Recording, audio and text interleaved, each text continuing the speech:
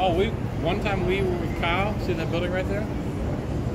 We were up on the top right there during some big deal. Vivid. Vivid, Vivid Sydney.